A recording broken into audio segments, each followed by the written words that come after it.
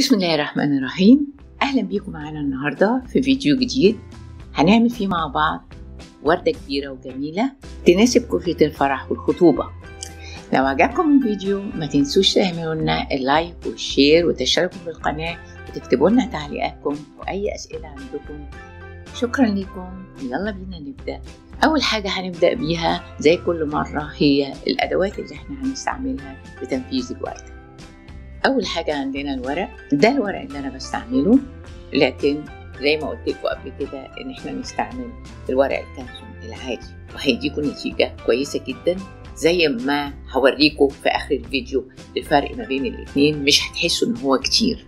وبعدين عندنا النوع التاني من الورق اللي هو الورق الذهبي اللي أنا هعمل بيه قلب الوردة. ده الورق اللي أنا استعملته بعد كده عندنا السكينة أو العظمة اللي إحنا بنتني بيها حروف البيتلز وطبعا المقص اللي هو يناسب لقص الورق. ومسدس شمع. ونكون محضرين الشمع بتاعنا. في حاجة زيادة شوية ممكن تكون موجودة أو نستغنى عنها فيما بعد اللي هي المشرط واللوحة بتاعة تقطيع الورق. ومسطرة معدنية. نبدأ في خطوات العمل. أول حاجة طبعا بنعملها الباترون.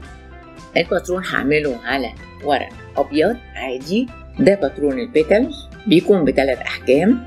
الحجم الكبير والحجم المتوسط والحجم الصغير وقاعدة الوردة على الشكل السداسي هنجيب الورق بتاعنا ونحط الباترون عليه ونبدأ نقص في البيتلز. هنبدأ بالحجم الكبير هنعمل منه ستة ومن كل حجم ستة. ستة من الكبير ستة من المتوسط ستة من الصغير واحدة بس من القاعدة السداسية.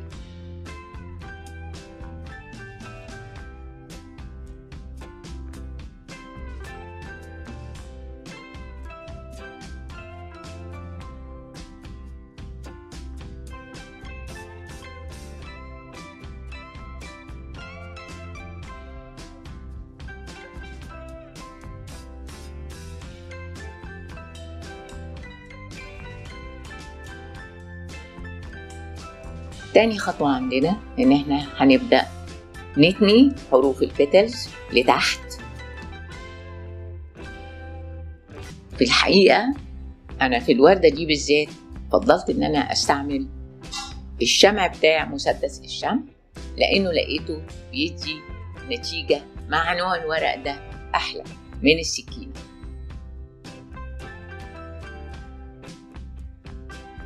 خلصنا تاني الورق الكبير والمتوسط كلهم زي ما أنتم شايفين في اتجاه واحد زي بعض. لما نيجي على الورق الصغير هنقسم الستة بتوعنا لتلاتة وتلاتة. هنقسمهم قسمين لتلاتة وتلاتة. تلاتة منهم هنتنيهم بالشكل اللي أنتم شايفينه. واحدة لتحت ناحية في زاوية لتحت وزاوية لفوق.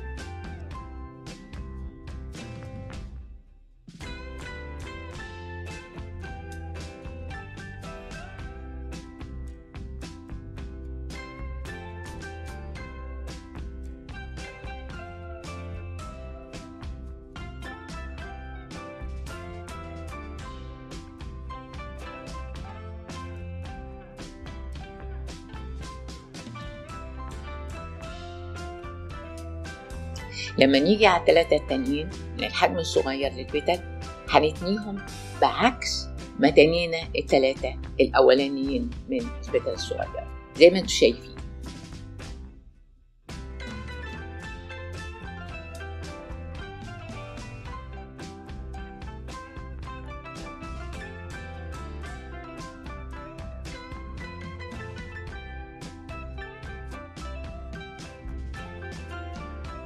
كده لما احطهم جنب بعض باين الفرق بينهم. خلصنا مرحلة التاني هنبدأ في مرحلة بعمل شق في كل واحدة من البتل بالشكل اللي أنتوا شايفينه. بنمسك كل مجموعة مع بعضها وبنقص جزء من البتل زي ما أنتوا شايفين.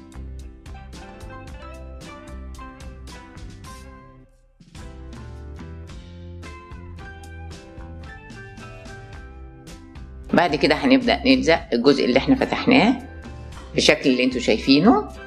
الورق الكبير والمتوسط لما بنيجي نلزق الشق اللي إحنا عملناه ناخد بالنا ان الكيرف اللي إحنا عملناه في البتل يكون متني لتحت.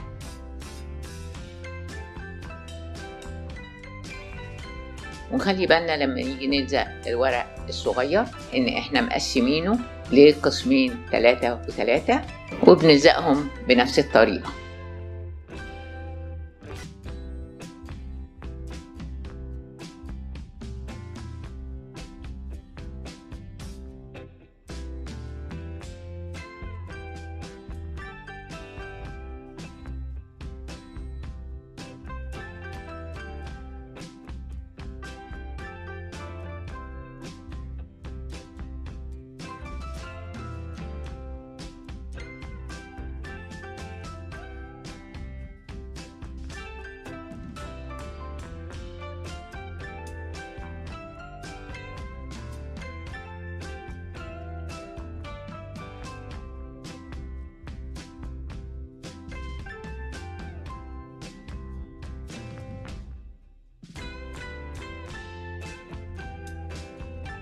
هنبتدي بعد كده نلزق البتل على القاعدة بتاعت الوردة. هناخد الورق الكبير ونلزقه زي ما أنتم شايفين تحت القاعدة بتاعت الوردة.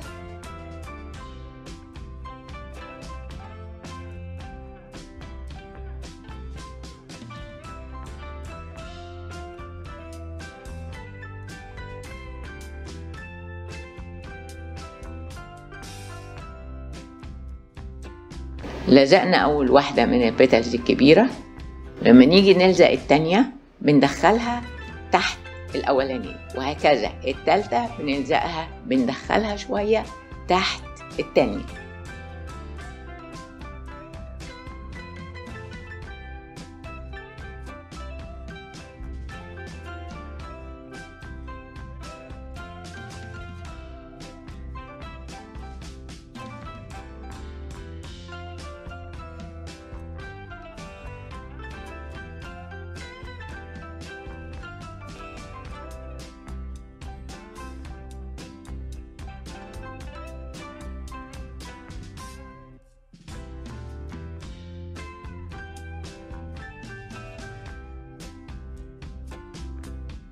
كده خلصنا أول طبقة من الوردة باستعمال البتلز الكبيرة.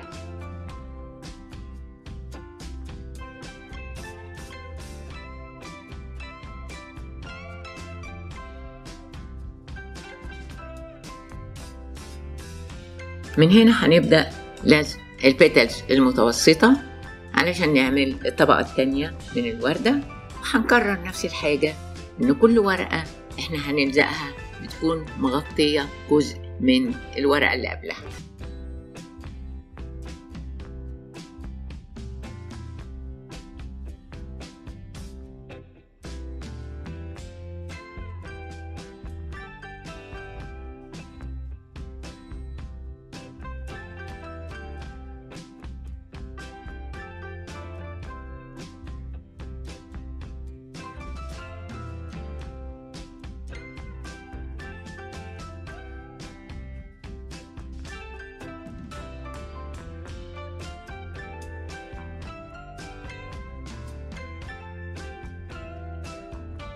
كده خلصنا الطبقة التانية من الوردة وهنبدأ في عمل الطبقة التالتة والأخيرة باستعمال البتل الصغيرة هناخد واحدة من أول مجموعة من البتل الصغيرة ونلزقها بالشكل ده. وبعدين هناخد واحدة من المجموعة التانية من البتل الصغيرة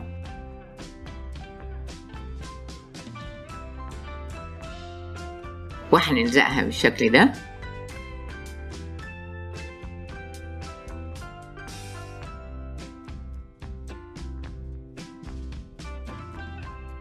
ونكرر نفس الحاجة.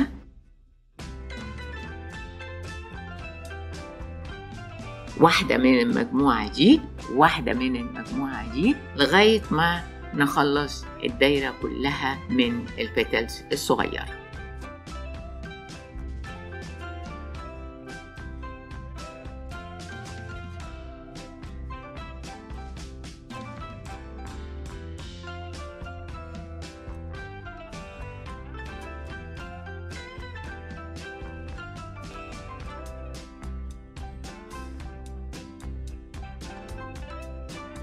وبكده هنكون خلصنا الوردة الأساسية وفاضل لنا القلب بتاعها.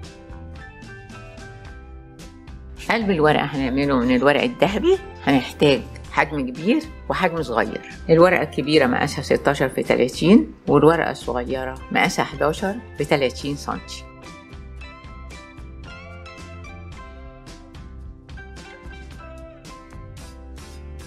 هنعمل في كل ورقة منهم فتحات بالطول مش واصلة للطرف. عندي طريقتين ممكن أستعملهم. دي أول طريقة بتني الورقة وابتدي أعمل بالمقص فتحات ما بين كل واحدة والتانية حوالي نص سنتي وأخد بالي وأنا بقص إني ما وصلش لغاية طرف الورقة بقف قبل الطرف بحوالي سنتي ونص.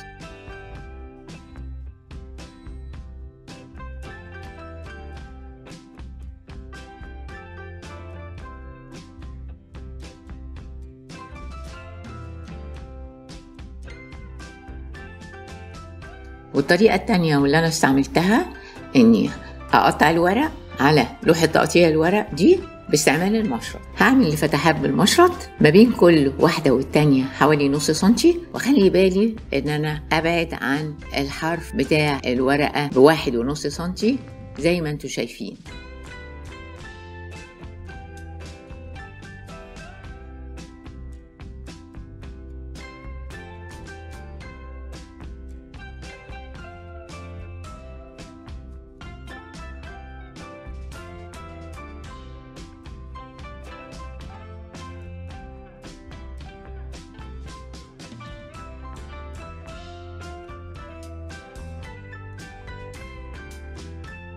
الخطوة اللي جاية دي أنا ببدأ أتني الورقة زي ما أنتوا شايفين وأضغط على التانية بتاعتها كويس بإيديا أو بالعظمة بحيث إن أنا أخليها متنية كويس.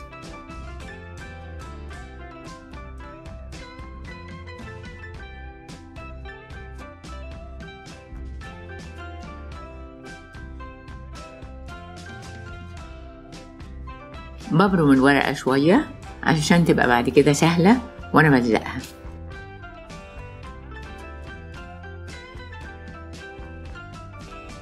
هلزق الناحيتين مع بعض بالشكل ده.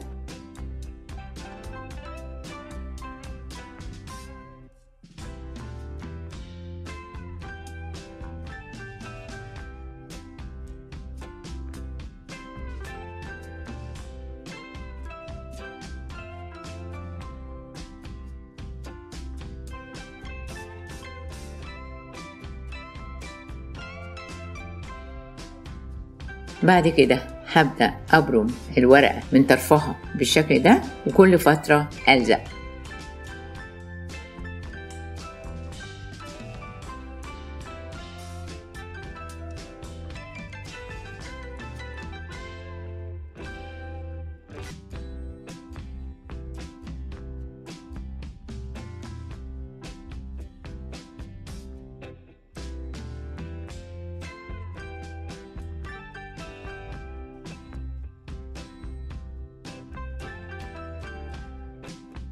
كده عملت الجزء الأولاني من قلب الوردة والجزء التاني هعمله باستعمال الورقة الكبيرة. الأول بتني الورقة على بعضها كده وأضغط كويس.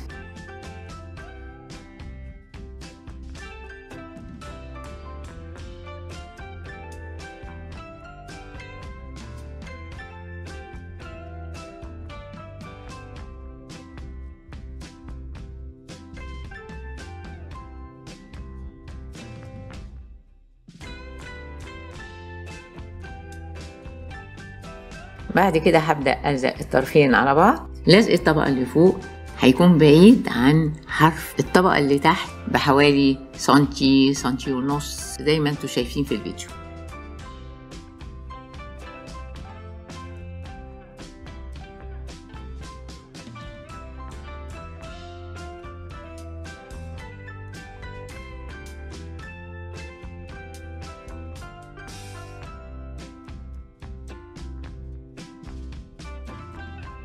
بنكمل اللزق للآخر بنفس الطريقة.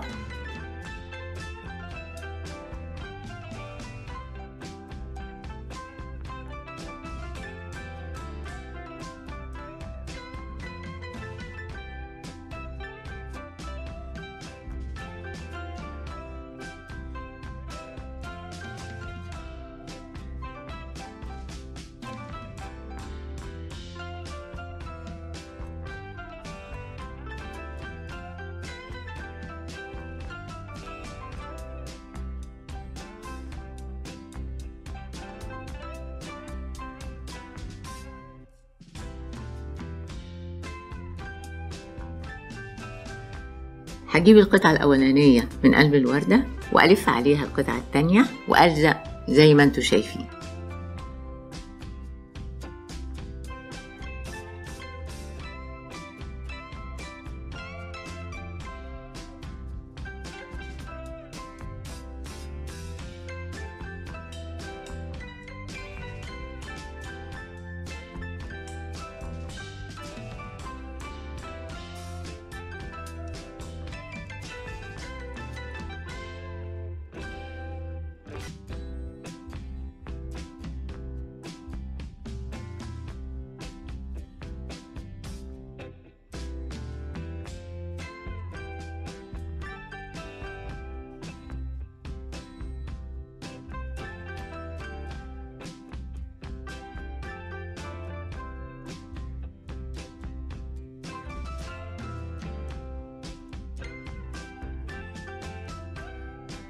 كده هيبقى أنا خلصت قلب الورقة كله. اتأكد كويس من اللزق.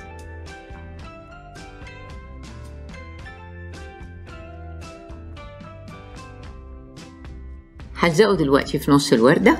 وهبتدي أفتحه علشان يملى الفراغ اللي في نص الوردة كله.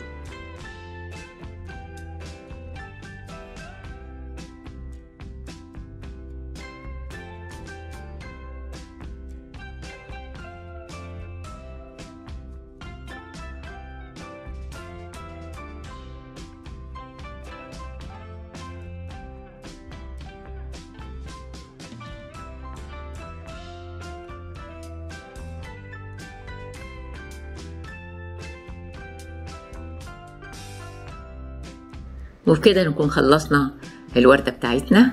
وزي ما قلت لكم في أول الفيديو هوريكم الفرق ما بين وردتين. واحدة معمولة بالورق ال off white والتانية معمولة بالأحمر.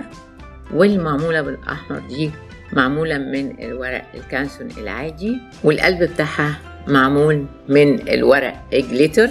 وأظن إن النتيجة قريبة جدا من بعضها. خلصنا أول فيديو لورد الأفراح. إن شاء الله يكون الفيديو عجبكم ونتقابل معاكم على خير في فيديو جديد إن شاء الله.